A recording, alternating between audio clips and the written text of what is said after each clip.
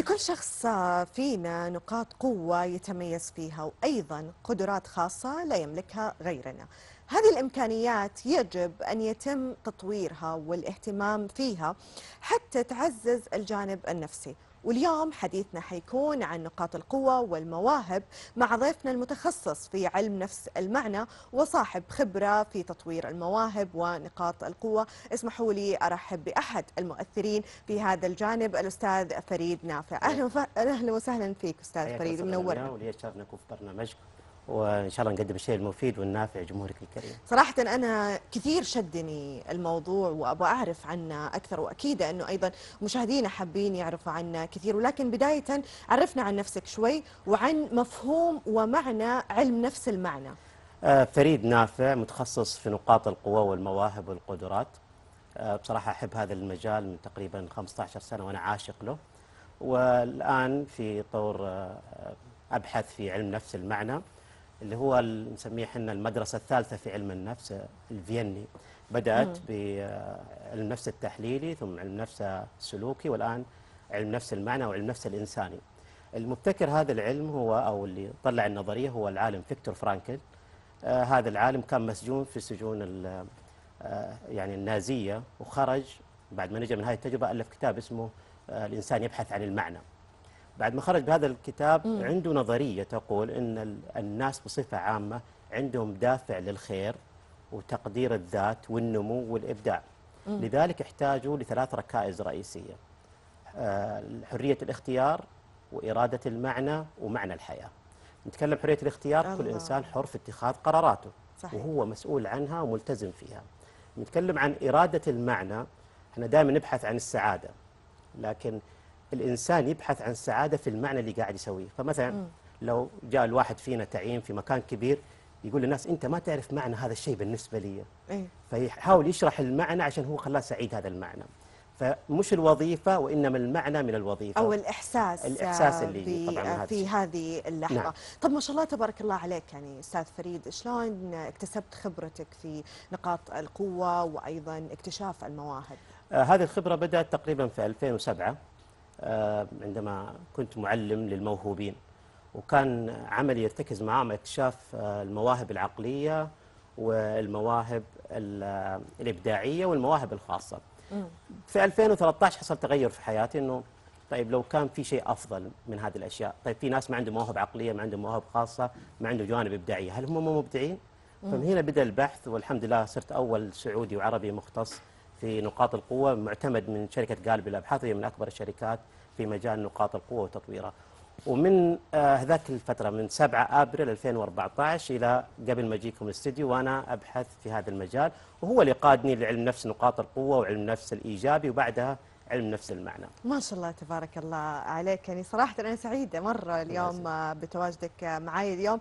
أنا شخصيا أبى أكتشف نقاط قوتي وكمان المشاهدين نبغاك تعلمنا بعض الأساسيات لاكتشاف نقاط قوة كل شخص فينا. ولكن قبلها خلينا نعرف لهم الفرق الكبير بين الموهبة وبين نقاط القوة. يمكن كثير من الناس يخلطوا بين الاثنين. كل واحد أو كل شخص يكون موهوب فيقول موهبتي هي نقطة قوتي في شخصيتي صحيح. هذا غلط صحيح. صحيح صحيح. فنبغى نعرف الفرق بينهم الفرق ما بين البذرة والشجرة. الموهبه الله سهلت علي الموضوع ال- خلاص الموهبة هي البذرة اي تطويرها والعمل عليها وشت... وان نعمل عليها هذه هي نقطة القوة. الموهبة هي شيء فطري موجود فينا. مم. تطوير وأداء وطاقة جميلة تشعر خلال أداء العمل هذه نسميها نقطة القوة وتعريف علمي هو أداء متسق وشبه مثالي في نشاط معين. نضرب- ممكن نضرب مثال فيك أنت؟ إي أكيد طبعا أنت موهوبة في الإلقاء وفي التقديم التلفزيوني. لو جيتي يوم واحد وقاعد تقدمي هنا بس تقولي خلاص أنا طفشت ما عاد أبغى هذا الشيء أنا ما احس نفسي هنا فيه. نقول عندك موهبة بس ما طورتيها. لكن كل يوم مستمتعة بالإلقاء والجلوس مع الجمهور واكتشاف الجمهور والجلسة معه. هنا نقول هذه نقطة قوة أصبحت عندك. ننتقل لنقطة أهم. إذا ما انتقلنا من نقطة القوة إلى استثمار نقطة القوة ممكن ترتد نقطة القوة علينا وتصبح نقطة ضعف. وهذه حنجينا إن شاء الله. واو. صراحة شيء يعني كأنها مسألة رياضية صحيح. معادلة رياضية نعم. خلينا نقول اليوم. ولكن نجي للسؤال المهم. كيف كل شخص فينا يكتشف نقاط القوة الموجودة فيه؟ في طريقتين طريقة طريقة الملاحظة وطريقة المقاييس العلمية. آه، الملاحظة نستطيع إحنا نسويها مع أنفسنا أو نجعل الآخرين يشو- يسوونها معانا. آه، الملاحظة تدور على أربع ركائز رئيسية. اختار شيء أنت مميز فيه. ثم أو تحب تسويه. أو تحب تسويه. إيه. أو الناس يقولون أنك أنت كويس فيه. مم. ثم طبق على التالي. هل أنت ناجح في هذا المجال؟ هل عندك تدفق بمعنى تحب تشتغل عليه كل يوم؟ إيه هل تحب تنمي نفسك فيه؟ وهل بعد انتهاء العمل تشعر بالراحة والسعادة والبهجة؟ هذه العلامات إذا موجودة عندك هنا نقول هذه موهبة أو نقطة قوة عندك. إذا ما هي موجودة نقول راجع نفسك ليش ما هي موجودة عندك؟ ممكن عندك موهبة ثانية غيرها. ممكن نحذف أستاذ فريد رأي الناس خلينا نكون صريحين اليوم. جميل. أوكي؟ في بعض الأشخاص صراحة محبطين جدا ومهما شافوا انه في ذا الشخص اللي قدامهم نقاط قوة أو موهبة ممكن يحطموه ويقولوا ترى أنت ما فيك شيء. أيوه ف- هنا هنا اختيار. المجتمع اللي تختارينه. أنا دائما في جلسات أقول اختار شخص يؤمن فيك. لا أي، تختار أي شخص. مهمة. النقطة. الثانية الناس ما يلامون لأن ما عندهم لغة نقاط القوة. يقول لك والله أنت دافور أنت كويس أنت ممتاز لكن إيش هو بالضبط؟ ما عنده. لكن لو كنت زعلانة يقول أنت حزينة. انت مكتئبة يحدد حزنك واكتئابك. فنختار الناس اللي يساعدونا إيه. وفي جزء ثاني نحذفها يلا. إيه. ونروح للجزء الثاني الجوائز. إيه. الهدايا اللي أخذتيها في هذا المجال.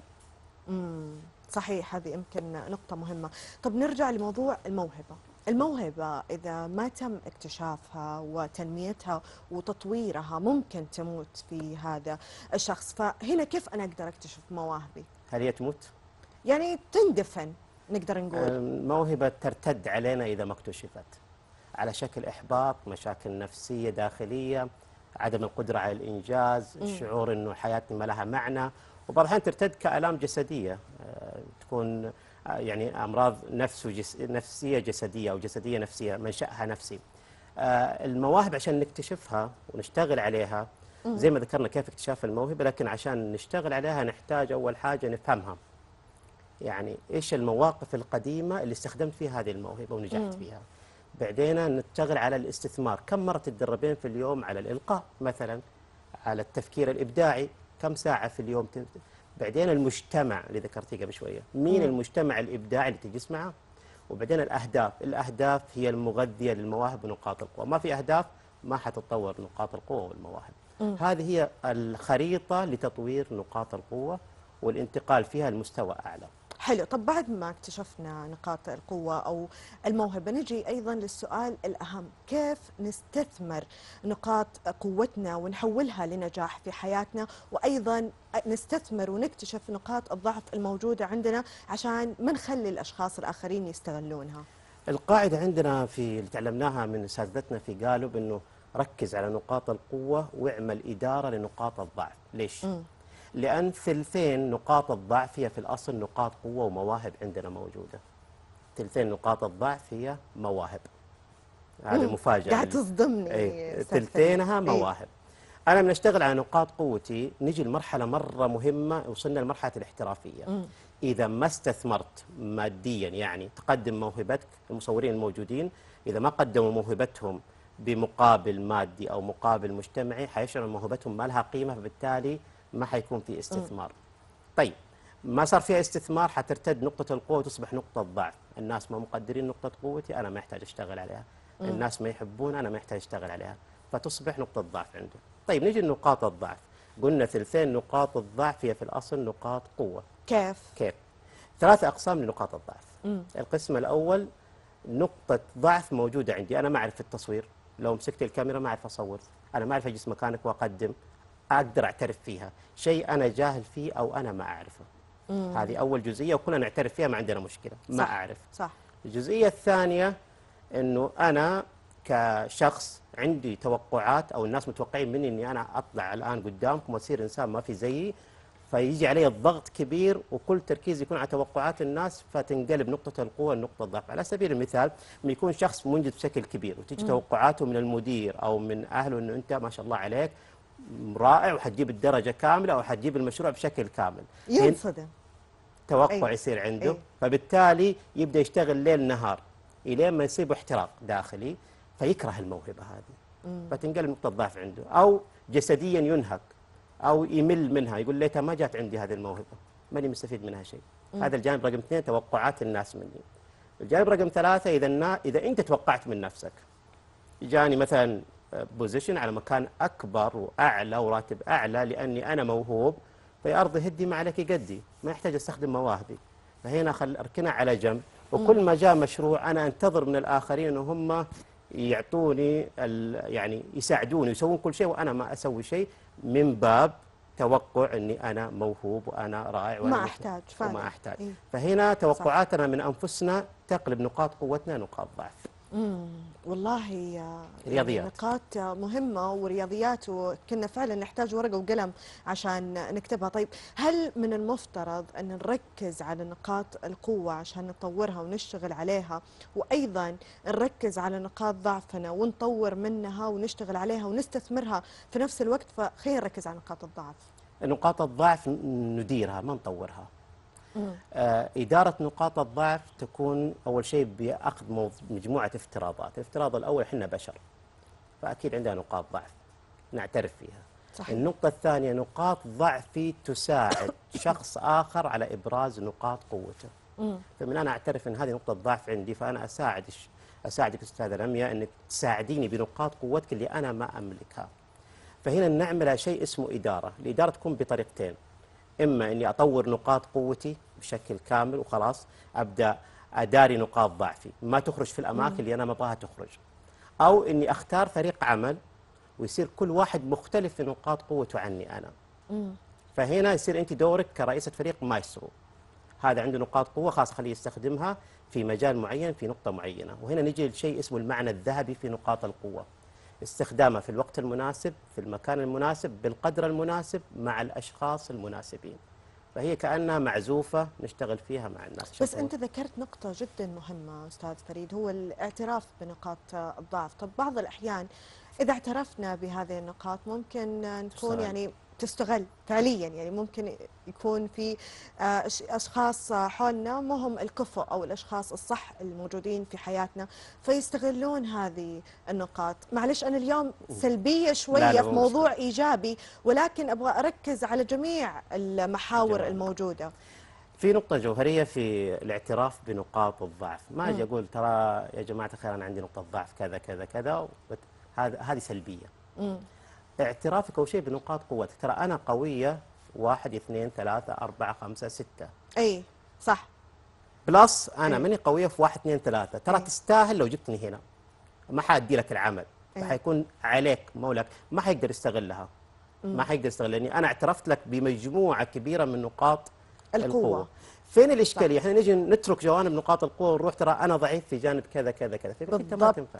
بالضبط. يمكن كثير آه، نحن الشباب والبنات نقع في هذا الخطأ وهذا اللي يخلينا ضعيفين شوي قدام الناس فهذه نقطة مهمة جدا. أتمنى من الشباب والبنات فعليا أنهم يركزوا عليها. طيب بعد اكتشاف المواهب وتطويرها إيش هي المراحل الأساسية والمهمة اللي يمر فيها الشاب أو الشابة؟ جميل. جاك شخص هنا مكتشف نقاط قوته واغلب اللي يجون هنا ويجلسون عندك هم ناس موهوبين. أنا تابعت أكثر من مبدعين. ومبدعين جدا. أول لو سألناهم إيش المراحل اللي مريتوا فيها أول مرحلة الثقة. واثق في نفسه. يحس إنه واو أنا أنا أعرف إيش أبغى في حياتي. الجزئية الثانية غير الثقة ندخل على مرحلة الاستثمار. إنه يبغى يسوي مشروع يبغى يسوي يكون في وظيفة ممتازة يوري المجتمع إنه هو قد إيش ممتاز. النقطة الثالثة اللي هي النقطة اللي نيجي في علم نفس المعنى القيمية. موهبتي هذه كيف يستفيد منها المجتمع. ما دام نجدهم اللي عندهم مواهب واضحة يتطوعون في مرحلة معينة بأوقاتهم يتطوعون بأموالهم يتطوعون بأشياء كثيرة هم يملكونها. على سبيل المثال المغني العالمي إيكون. مغني كان اكتشف موهبته يو قديم هذا وينه إيه، قديم قديم وين جداً. وين ذي الفترة بس هذه القصة راحت؟ دائما أستشهد فيها إيه. آه عنده موهبة إيه. كانت واثق من نفسه بعدين استثمرها بيع واحد من البوماته بمليون دولار تقريبا إيه. أو أعلى من كذا آه أو بيعت مليون نسخة بعدين سوى مشروعه الخاص إنارة أفريقيا القيمية للمجتمع فدائما الموهوبين إذا اكتشفوا والمبدعين اكتشفوا نقاط قوتهم عندهم سؤال مرة كبير بعد 40 50 سنة إيش المشروع اللي يخليه إيش الإرث اللي يخليه من خلال موهبتي؟ عشان كذا يصير تجي عندهم حالة ملحة إنه ينجحوا مشاريعهم الحالية. اي هاي صحيح. كان. عنده أغنية اسمها لونلي مستر لونلي يلا قديم.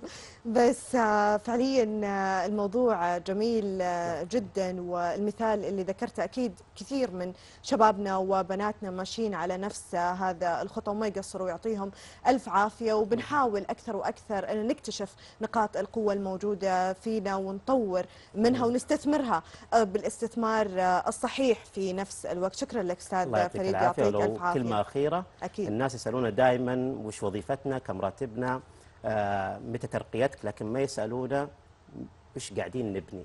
وقت ما تتغير أسئلتنا ناحية أنفسنا إن شاء الله حتتغير حياتنا. أكيد هذه نصيحة في. مهمة جدا نختم فيها لقائنا يعطيك ألف عافية أستاذ فريد. نورتنا. وشرفتنا. مشاهدينا بعد الفاصل رياضة ال jet ski تجذب الشباب ويحصدون فيها الذهب